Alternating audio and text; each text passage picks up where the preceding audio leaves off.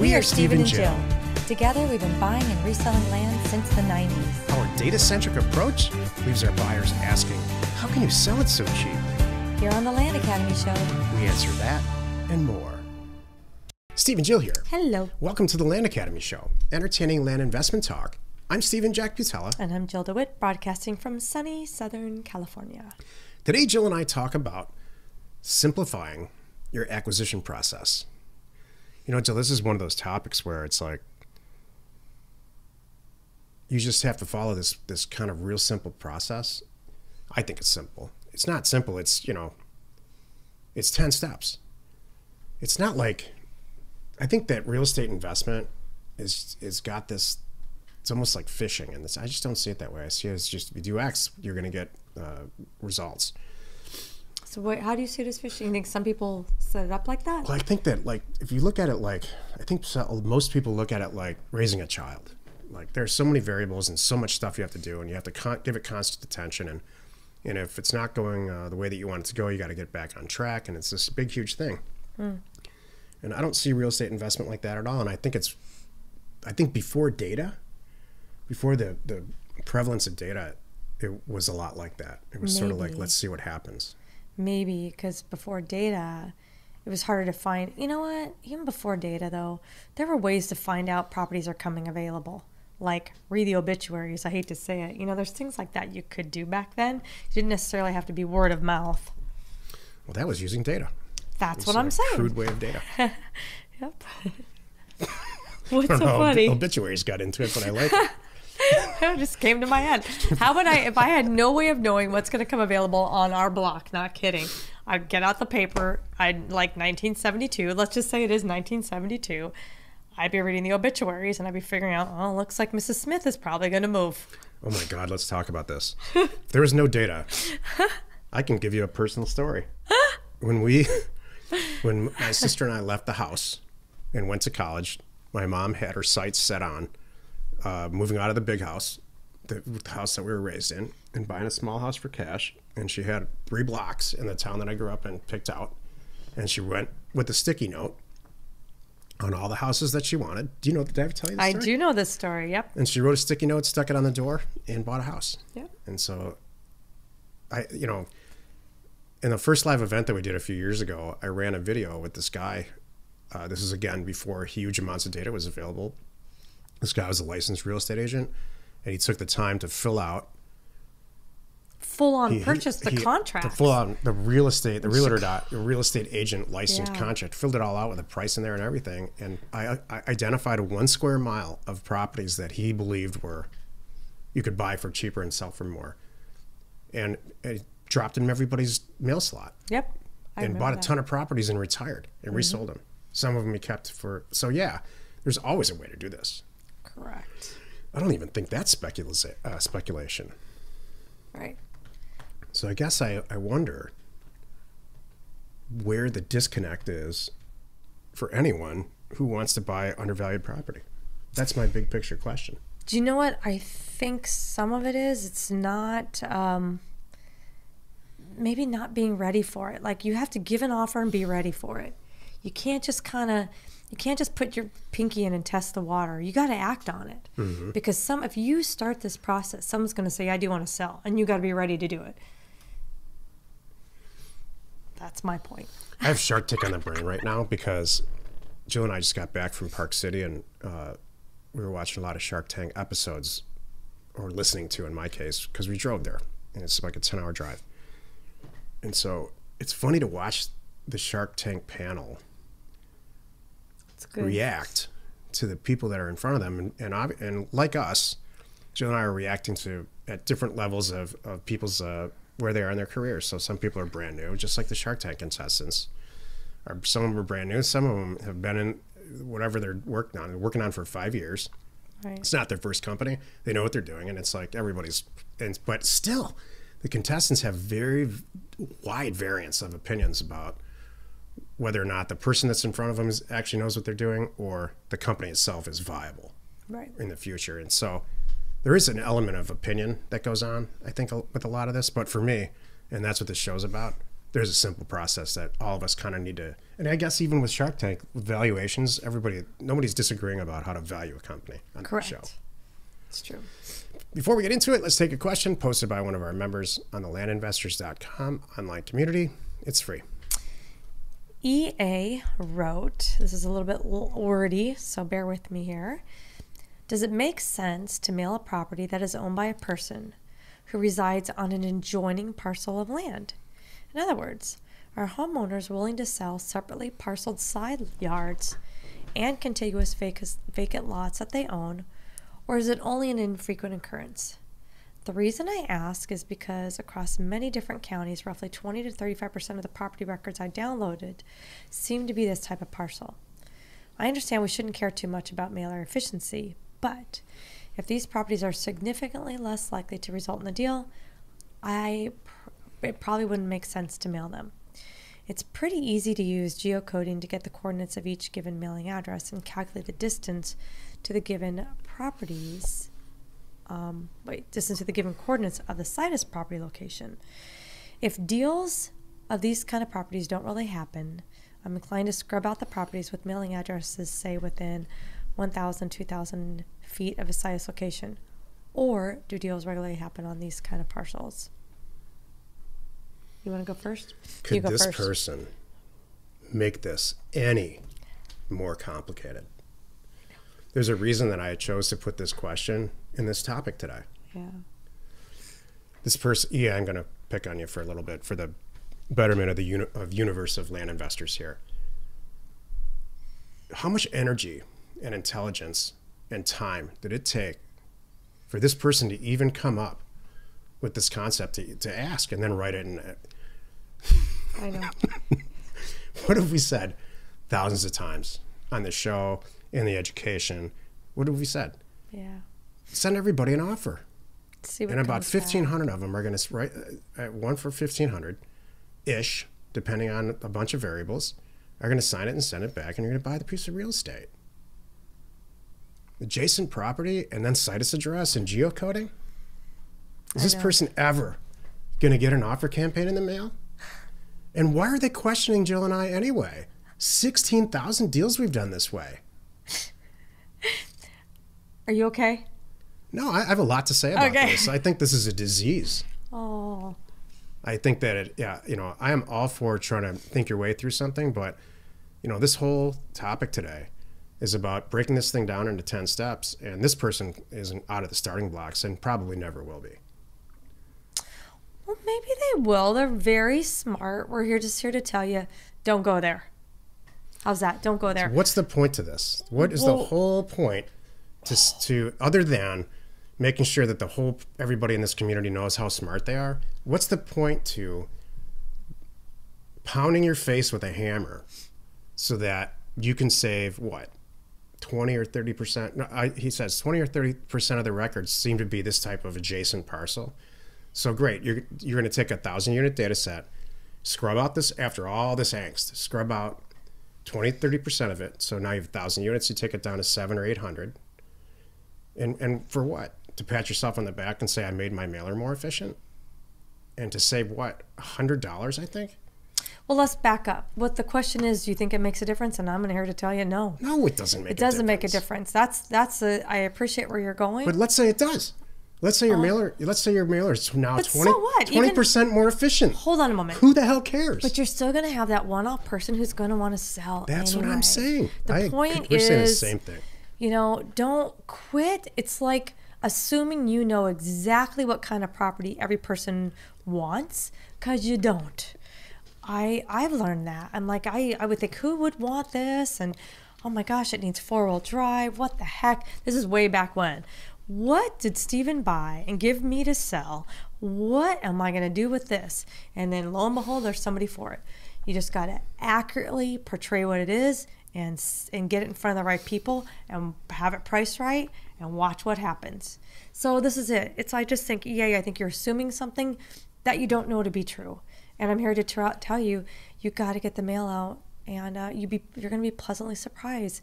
It's like the, you know we know what we haven't heard in a long, long time. Thank goodness, is people that came in and and you know it was a it was a issue for a while from somebody else, not us, to only mail back tax property. That's long gone. It Why is it long- up. why is that long gone? Because we've all proven it to be um, not an issue. Because we've had shows like this and episodes like Right. this and seminars, full seminars about why you should never only buy or Back just tax. mail property with back taxes associated with it. And Because it you're doesn't missing all the valuable, good property that people are happily paying. So if you do this, this is my only thing, and I'll end on this for me. Don't do this. Because all you're going to do, you're scrubbing out the sweet couple who've been paying taxes on the lot behind them that they need the cash now. They don't want to move. They're happy to sell that parcel. You can have it. There you go. Thousands and thousands of people,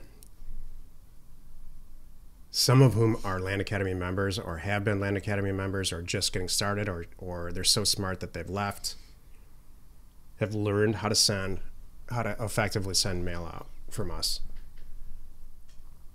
Why? Would you question that? Here's what you should do if you're, or and what I did in my career. You learn from all these people who are smarter and filthy stinking rich and live at the beach. You learn from them. And then when you're after you've learned from them and, and, and done a bunch of deals their way, you sit down with yourself and say, you know what? That guy is smart and rich, but I'm a little bit better at data than he is. He might be better at real estate, but I'm a little bit better. So I'm going to apply some stuff over here, some new stuff, and just kind of see if it works and split test it and do it. That's what you do. But it just cracks me up. I'm not done with this at all. I know you're not. I'll be over me up. here. It cracks me up that people, I'm like, I'm sorry, I tried to help. A couple months ago, somebody wrote- I put it in that show. Somebody thought it was a good idea in their mail campaign to put a headshot of themselves. Why? I they thought it would increase their mailer yield, I guess, or they love to love to look at pictures of themselves. I don't know. Why the hell would you ever put a headshot of yourself in a mailer? So I just don't get this. So this today's topic: simplify your acquisition process. This is why you're listening. Simpli- Hi, how you doing today? Simplify your acquisition process, not complicate it. There, you know, I could call it. How, you know what? Today's topic: complicate your acquisition process and your life. This is the meat of the show. Please tell us, Steven, what's really going on with you right now? How are you feeling? I feel great. Okay. I feel great. I I haven't seen you this opinionated in quite some time, and I uh, um, I think we all got the point. All right, good. Okay. There's about 10 steps to buying and selling real estate our way. It starts with choosing a place to send a mail campaign. I'm not going to go through the exact 10 steps. Um, if you need the 10 steps, you know, go to support at landacademy.com. They'll, they'll share, 'em- share them with you. It's, it's riddled all of our, our education. I've been using the same 10 steps since the early 90s. And so when you take those 10 steps, the first one is um, getting educated, which is what you're doing by listening to this. If you haven't violently turned the knob off of your, or however you're listening to this at, by this point in this episode, congratulations, you're actually going to learn something, I hope. You know, get that educated. Uh, the second step is, is find a place or uh, pit zip codes or geographic areas against each other uh, using the red, green, yellow test to see where you're going to send mail. There's a bunch of data pieces to that. And then get the mail out and, and step by step by step uh, eventually, the acquisition process ends. You know, my part ends. The mail is out there, and Jill takes over with the uh, dealing with the phone and, and uh, purchasing and reselling the property. So this this seems to be uh, the data comes you know data comes back to us or feedback comes back to us with members and non-members and either like the greatest oh my god thank you you changed my life i'm moving on to buying huge properties and doing fantastic or i don't get it. Maybe we should send a mailer out and exclude 20% of the people that own adjacent property. So here's here's the point the takeaway from this it's about a 10 step process it can be 12 steps if you're doing real specialized property but it's between 10 and 12 steps and each of those steps if you take a day or two days or however long it takes you a week to kind of really get in there and figure it out listen to what we say you're going to do great you're going to knock it out of the park i can i can almost guarantee it. And the only reason I say almost is because legally I can't sit here and say I guarantee you'll be successful at it. That's the only reason. But the vast, vast, vast majority of people who follow through on this don't question it, don't complicate it, take the 10 steps and blow them out. They're going to do great. I agree. I don't have a whole lot to add to this. I just, and it's, it comes from this, this topic to me uh, reminds me of some people I see just like, not not so much EA, but just some people I like are going, should I, when they're doing their due diligence, they're digging too deep. Like, um, should I get a perk test? Should I do this? Should I do that? I'm like, no, wait, hold on a moment. Why? Why are you complicating it? Why are you doing extra steps that you don't need? You know, do I need to walk Where the property? You- It's just misinformation, I think. I think people are, you know, they read somewhere I should do all this stuff, and you really don't. Um, it's and it's not that you're doing a disservice. It's just stuff that's not needed. If somebody, and here and here's my point of this too.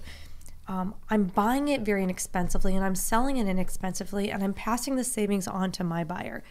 If they want that next thing, if they want a perk test, they can go get it. It's going to be cheaper if they do it than if I do it, hands down. And most of the time, too, by the way, in um, in normal, you know, real estate broker transactions, the buyer does perform a perk test and they do pay for that off, you know, themselves. That's usually things on the buyer, you know, buyer to perform, buyer to verify, all those things. So it's not like I'm not doing my job. I don't I don't need to.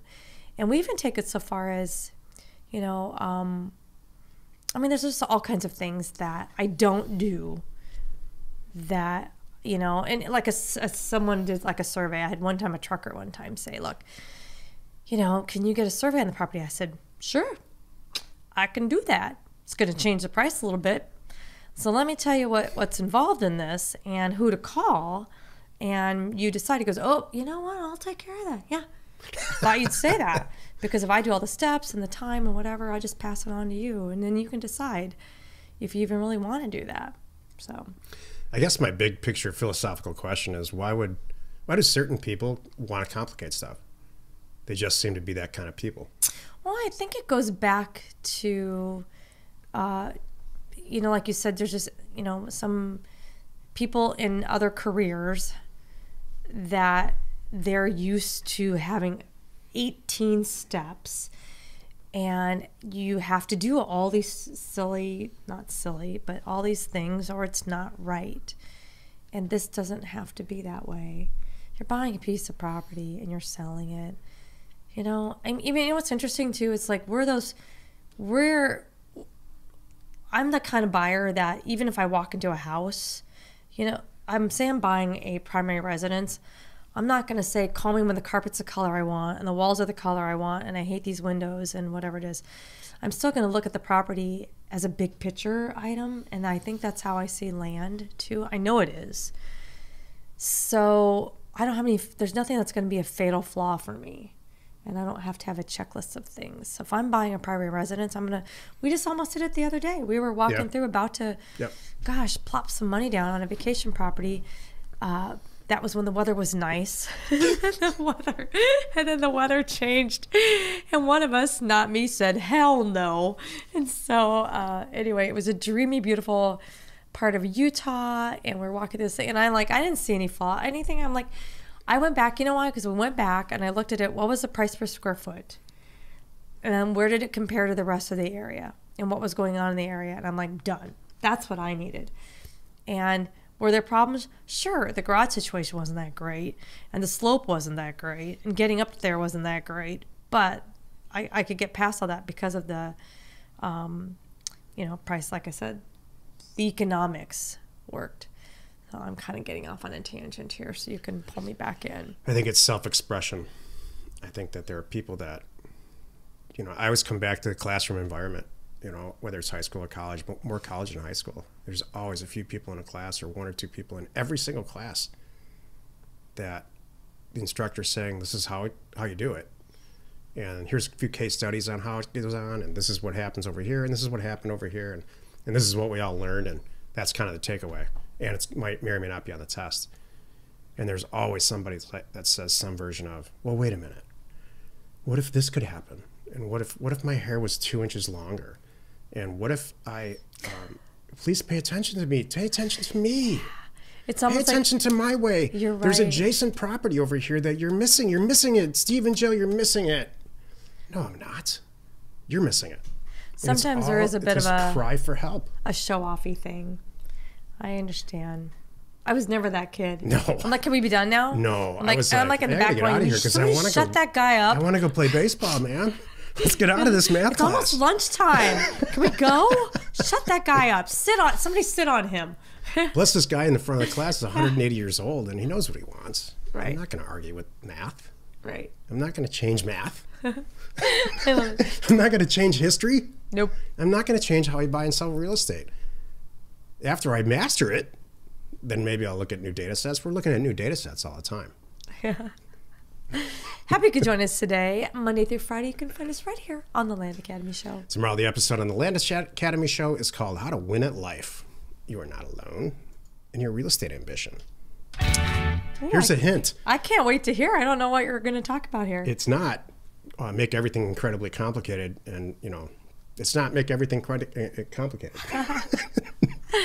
Love it. Thank you for tuning in. We hope you find our content valuable and we really appreciate your support. If you haven't already, please get on over to our YouTube channel and hit the subscribe button.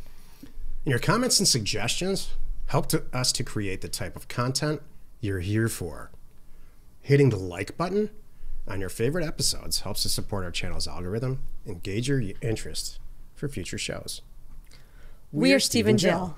Information And inspiration. to buy undervalued property.